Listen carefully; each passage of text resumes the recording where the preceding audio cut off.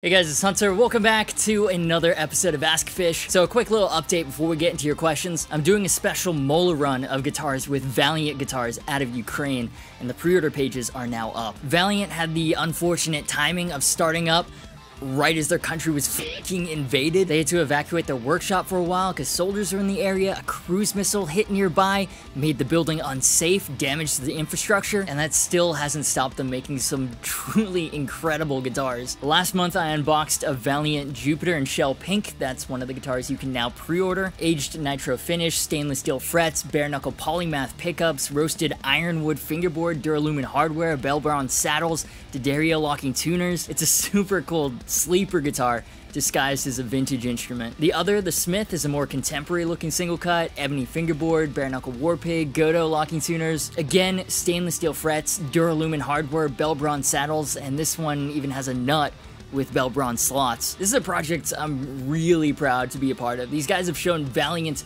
isn't just a company name. They're trying to rebuild their company, help their country recover. Obviously, getting parts right now is really difficult for them, but their plan is to try to make 25 of each. So, super limited. They'll be individually numbered, have the Mola Mola logo, and a portion of the revenue will be donated to Save the Children, who are on the ground in Ukraine providing assistance to children and families affected by war. These are boutique, legit, custom shop level instruments, so I understand they're not cheap. They have a payment plan, 110 bucks, then 50% when the guitar ships. The other 50% within 30 days of receipt to make sure you love it. It's quite a bit of money, but the quality, the components, the craftsmanship, it's all custom shop level. It's ridiculously good. And it's not just me saying that. Daryl Braun, Phil McKnight, Chris Robertson of Black Stone Cherry, all super impressed with what they're doing, and especially given their extra challenging circumstances. So yeah, just wanted to let you know you can pre-order those now. Links in the description with all the specs and details and everything. And you can follow them on Instagram too, show them some support. I know they really appreciate that. I'll have full in-depth videos of these dropping soon as well. They inspired some exceptional riffage. In the meantime, you guys had questions over on Discord. I've been told that smacking is too aggressive, so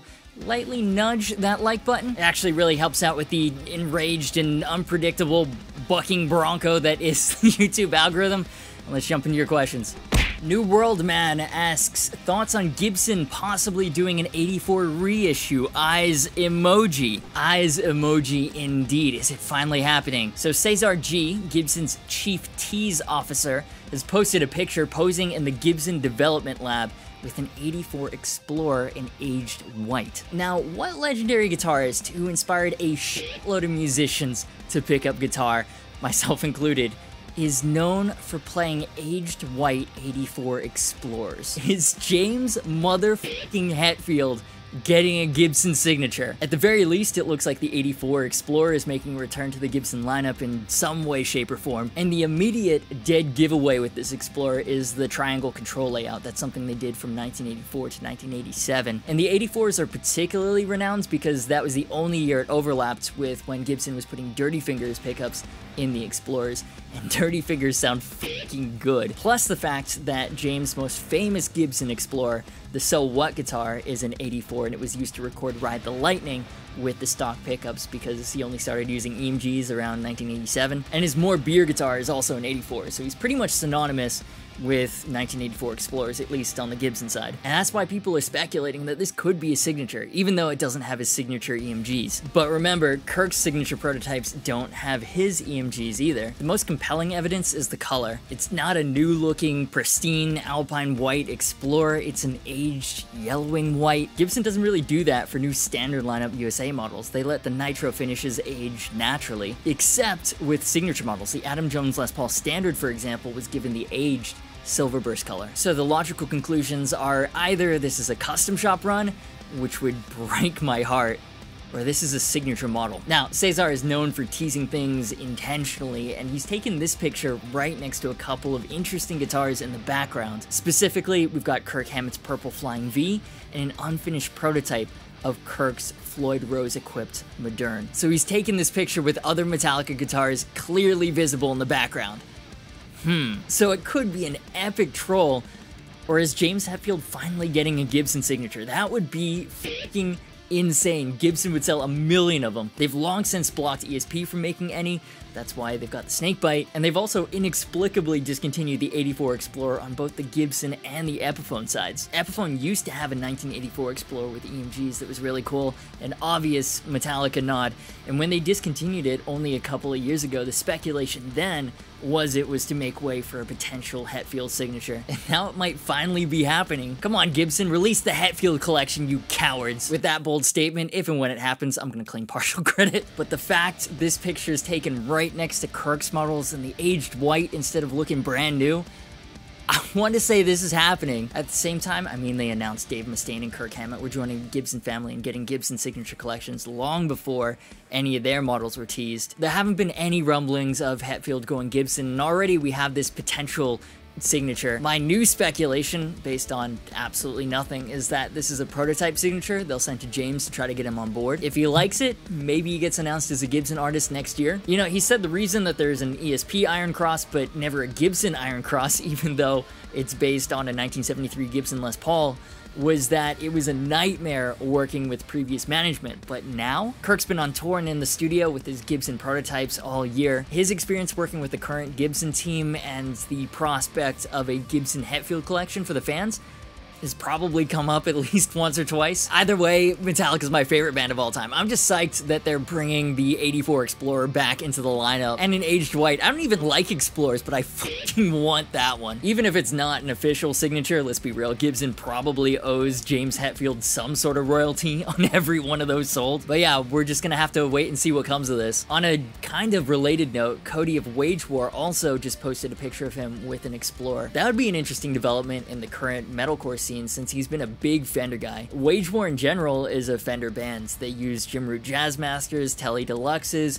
Cody even had a regular Jazzmaster with an EMG just chucked in there. Don't know if he bought it or Gibson gave it to him, but it could be a part of an Explorer push on Gibson's end. This year is kind of the unofficial year of the V. Dave Mustaine finally had his signature models released much to Glenn Fricker's chagrin. Kirk Hammett's been using his Purple V live. Adam Jones has been using his ironically Dean-esque reverse Silverburst V. Gibson's been treating the Flying V and the Explorer as odd partners in crime. Since they're pushing the V, I would not be surprised if they're trying to show the Explorer some more love especially with the much hyped 84 now on the horizon. But yeah, what do you guys think? Is the 84 a Hetfield signature? Is it a custom shop reissue?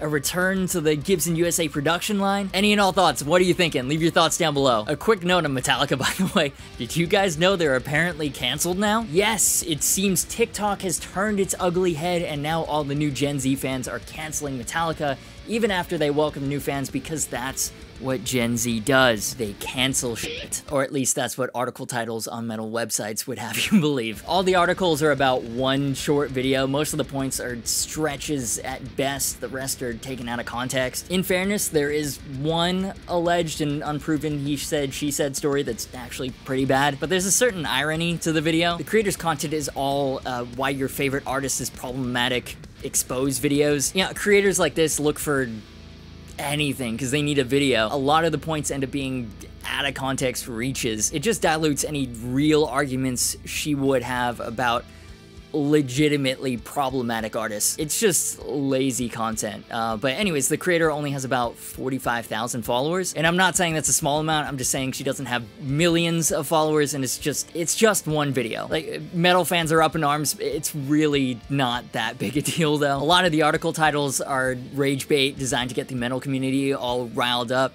you know, cause like that's the only thing people read when it's posted to Facebook. Um, yeah, it's all just very dumb. You know what's not dumb though? You. If you use today's sponsor to get your music onto Spotify and Apple Music, let's take a quick second and thank DistroKid for sponsoring today's video. Look, we love talking about new guitars, new gear, it's all very exciting, especially if it's an 84 Explorer. But the real exciting part is the music you create with it and then getting that music out into the world. And DistroKid is the easiest way to get your music onto all the major platforms. Spotify, Apple Music, all of them. DistroKid takes all the hard work out of it. Uploading is just a few clicks. If it's a cover, they'll even help you get the license that is massive. And a big reason as to why I and so many other people love and use DistroKid is because they're musician focused. The platform is always growing, always evolving to serve the modern artist. There's promo cards to advertise new releases on social media, social phone to communicate with your most loyal fans via text. You can easily get verified Spotify and YouTube music accounts through DistroKid. And one of my favorite features is splits. These days, everyone's collaborating with everyone.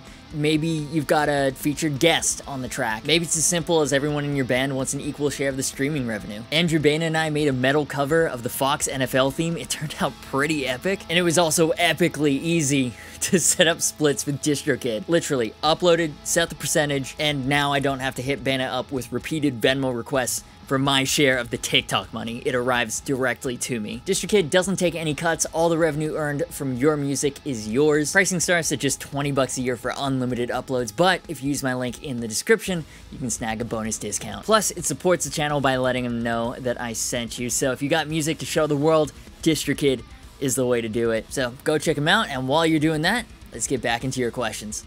Obsessed with baritone guitars asks, did you ever play with Legos? If so, what was your favorite set? Yeah, of course, man. Lego Star Wars was the best. Uh, my brother and I had a pretty solid Lego collection going. He had the X-Fighter, I had the Naboo Starfighter. Legos got damn expensive though, so I'm not gonna lie. A couple of years ago, my friend and I got the nostalgia bug, bought a Lepin Millennium Falcon off AliExpress. Got a couple of bottles of wine, built it together on her stream. It was a good ass time, even if not all the pieces fit that well together. Uh, but yeah, any more LEGO enthusiasts out there? Or I guess, um, Lepin enthusiasts too? Juan TW55 asks, what do you think about the new Slipknot singles that were released recently? Right, so there are three new Slipknot singles out for their upcoming album. The first one, Chapeltown Rag, I didn't like it too much. It was kind of all over the place. The most recent one, Yen, is okay. I've actually got a reaction video out on the dying song Time to Sing. So far, that's been my favorite of the three new singles. The way I feel about them is kind of summed up in that video. There are elements of the old Slipknot that got me into them, elements of the modern, mature Slipknot that I've grown up with. But there's something about them where as soon as I'm done listening to them, they don't really linger in my head for that long. None of them have the instant earworm replay button breaking qualities of uh, duality before I forget, psychosocial, heretic anthem, people equal shit. You know, they're classics. It is still Slipknot though. They're goaded. The keg is undefeated. Even if I'm a bit meh on the new album so far, more than anything, these have got me extra stoked to see them again on Knotfest Roadshow. Slipknot put on a goddamn metal spectacle. What about you guys though? What do you think of the new Slipknot singles? Love them? Hate them? Meh on them? Pink Zane asks, what's the one that got away? I assume you mean in a guitar context, like what guitar did I miss out on that I still think about? And, uh, you know, I've actually thought about this quite recently. I was at Wendell's this week, we are working on one of the 81 Sonex projects.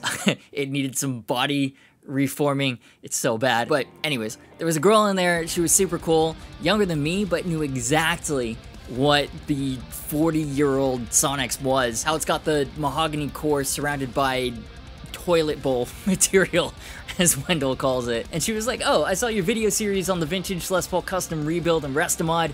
Been looking, but thanks to you, I can't buy any Les Paul custom husks anymore. Now, I would not say that I'm fully to blame, you know, less than 100,000 views per video, but she was right about the pricing and availability of these Les Paul custom husks. On the rare occasion a Les Paul custom husk pops up now, even the Norlins that no one wanted before are ridiculously expensive now. I had my eye on this one last week, nothing special, but three and a half fucking grand for a husk. When I got mine, especially the 72, I'm telling you, the narrative was Norlins are a piece of shit. No one wanted them. It was like a thousand bucks for the husks and they wouldn't be completely like my 74 was. A full Norlin Les Paul custom with all stock parts, at the time it was like less than three grand. Make Norlin guitar prices great again, right? But there was one husk in particular listed pretty much the next week after I got my 72. It was an early 70s husk, uh, which I really like because it's got the volute and the really thin neck. I really couldn't afford it because I was a broke-ass college student, I still should have gotten it though. No one wanted this one. It went for like 750, 800 in the end. Uh, completely refinished in pink sparkle. I'm talking the E2 Eclipse sparkle. And I guess that just wasn't cool yet. No breaks, no gouges, nothing. The resale value had just been because it had been completely refinished in this dope ass pink sparkle and the serial was gone. Obviously, no original parts, but the refinish was clean. They even did the headstock, and I've always had a thing for pink and purple guitars. Sometimes the less metal something is, the more metal it is. You know what I mean? The irony and counterculture just feel like that sometimes. So, anyways, every time I see an expensive husk now, I think about that guitar. I also think about another one that popped up a couple of years later. It was a husk of a 90s Les Paul Studio, black with an ebony board. It wasn't a particularly good deal or anything.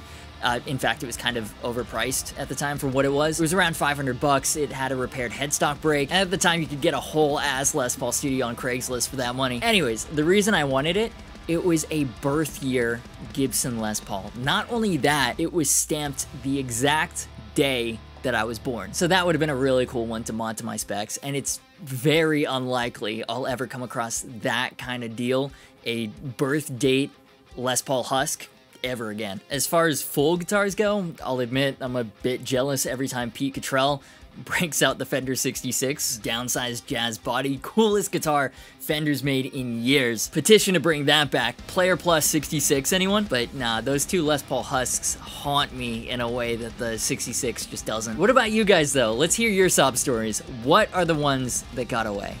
Echo Mode asks, heard about Buckethead got 10 of his guitars stolen, frowny face. Man, I don't know if it's a new phenomenon or we just hear about it a lot more because of social media, but guitar theft from storage lockers seems to be happening all the time. And it's happened to Buckethead, known of course for being a fantastic guitar player who plays guitar with a KFC bucket on his head. Now, at the time, he'd made a statement on his site saying 10 of his most important guitars were stolen, he left an email address for people to contact him, and that was it. Not really too helpful. No pictures, no serial numbers or anything. He also asked for two studio Les Pauls, and it was unclear what he meant by that. Did that mean his signature studios, regular Les Paul studios? Instructions unclear. Seems to have had somewhat of a good ending though. He's updated his website with a handwritten message from Taylor Bellemare, I think I'm pronouncing that right, who managed to help Buckethead recover one of his stolen guitars, as well as a photo of 11 year old Taylor in the front row of a Buckethead show in 2008, playing that same guitar that he helped recover fucking wholesome. Apparently the guitar was sold at an Arizona swap meet and it was recognized as Buckethead's own guitar because it had a black headstock, whereas all the production signatures came with white headstocks. His signatures also had 27 inch baritone scale lengths, which is fucking wild. Bring that back, please. But yeah, huge shout out to the eagle-eyed fans and to Taylor for helping Buckethead recover one of his guitars. There's so much negative news out there, but this is super heartwarming. Now keep this on your radar. They'd been announced at this year's Anaheim Summer NAMM, but the Ernie Ball Music Man HT series have now been released into the wild. Kind of, you can at least pre-order them from Sweetwater and Thomann. Pricing has also been revealed. They're 300 bucks more than the non-HT versions, 28.99 for the Stingray and the Cutlass, available in Raspberry Burst, Snowy Night, Yucatan Blue, Showtime, Brulee, and Midnight Rider. $36.99 for the Sabre in all the same colors, so a lot of cohesion within the line. Of course, they have roasted figured maple necks, stainless steel frets, those glorious necks with the hand-rubbed oil finishes. I mean, those necks are so fucking good. The big news is, of course, they come with Music Man's new HT pickups, which are supposed to be clearer, more powerful, just better by using specialized heat-treated materials in traditional designs. They've described this as a natural evolution of material-based research they've undertaken with their strings, and the way they're talking about them in marketing materials, they almost sound like Fishman Fluence, super high fidelity, high output, but in a traditional pickup design. I tried desperately to get a Stingray HT for a demo. Love my Stingray RS, and I'm really curious about the HT pickups. I mean, it's a Strat-style dual humbucker guitar with a tune-o-matic. it's so cool. But they said they already have a bunch of YouTube videos lined up for that and for the Sabre. My own fault. They were announced when I was on paternity leave, and I waited so late to hit them up. And I haven't seen any videos yet besides the official launch video, but they're coming, so we should have more information soon. Can't wait to hear everyone's thoughts on the new pickups and whether that's the future of modern pickup design. Going in kind of the completely opposite direction, Kramer's released a new line of budget guitars, the Striker series. And in typical Kramer fashion, they have their sights set firmly on the 80s for inspiration. Comes in two variations, $3.99 for the Floyd, probably a special at this price point. Comes in majestic purple, jumper red, and ebony. There's also wild ivy and transparent red with flame maple veneers. Also comes in a 349 Tune-o-matic style hardtail variant, which I have to say, HSS Super Strat with the Tune-o-matic that actually is pretty cool. Comes in transparent ebony and transparent purple, both with flame maple veneers. I actually kind of like the zebra pickup in the bridge as well. It gives it that aftermarket hot rodded look. But yeah, that's the Kramer update. Uh, listen, they know their current fan base is still waiting for them to release something ultra modern for contemporary metal players to think about and give Charvel a proper run for their money because as it stands, they still have nothing for the core kids. Like, why? Even some Kramer prophecies would be cool, but I digress. This is about the Striker series, and uh, actually, that's all I have to say on those. But that'll do it for this episode of Ask Gufish. I really haven't uploaded too much this week. I've been putting in extra work for videos that I'm really excited to do. Writing with the Valiant guitars have been super fun because those guitars are so good. I'll let you be the judge when they drop, but I'm pretty sure they inspired some of the best riffs I've ever written. Been at Wendell's filming footage of the Sonex Restomod. Some mysterious dude whose name may or may not rhyme with Pat Beefy sent me some fire leads for an upcoming demo track. And I've I've actually gotten back into the modding game here, so yeah, just a lot of cool shit. I haven't had time to actually sit down and talk to the camera much this week. Shout out to all my amazing patrons. You guys keep the channel going. Thank you so much for your support. If you want to join them in supporting the content and get bonus extras, link will be in the description. We're also so close to the next Patreon goal where we'll be upgrading everything to 4K to make even better content for you guys. Social media, Discord, and affiliate links are down below. As always, thank you so much for watching. You've been awesome, and I will see you for the next video.